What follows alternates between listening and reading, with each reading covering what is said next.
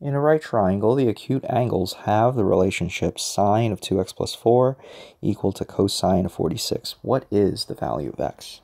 Well, to answer this question, this question turns up all the time on the Regents, so if you're looking at this video, you're probably uh, not clear on the principle in which they are really asking for. So suppose I have a right triangle here, ABC, right?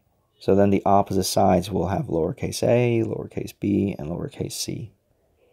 Now, I can express sine of angle A, right, using the lowercase letters there. So the side that's opposite of lowercase a, uh, of um, capital A, is going to be lowercase a over the hypotenuse is c.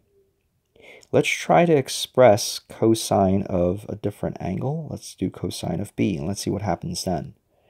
Cosine of angle b, the side adjacent to angle b is lowercase a, and the hypotenuse is once again c.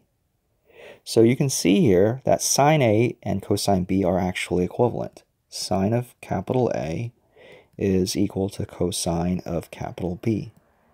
Now, under what circumstances are these two things going to be the same? A and B do not have to be equivalent, right? So the circumstances is this. Angle A plus angle B plus 90 should equal to 180, right? That's a sum of all three angles. Or in other words, A and B together are supposed to be complementary. Because if I subtract both sides by 90, I end up with A plus B is equal to 90.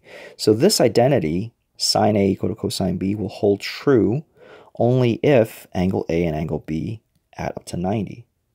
So this is the principle that this question is really asking for. And this is what we refer to as a, an identity. And in particular, this is a co-trig identity. Why is it called a co-trig identity? Because we're dealing with sine and cosine. The co-trig function is a complementary function, which is why we have this identity here.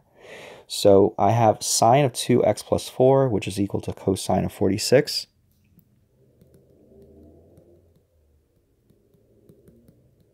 Whoops.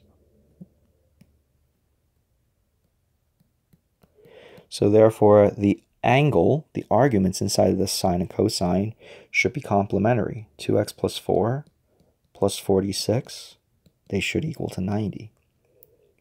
Let's combine like terms. I get 2x plus 50 is equal to 90. Subtract both sides by 50. I get 2x is equal to 40. Divide by 2, x is equal to 20. The question is, what is the value of x? That's 20, so that's option 1.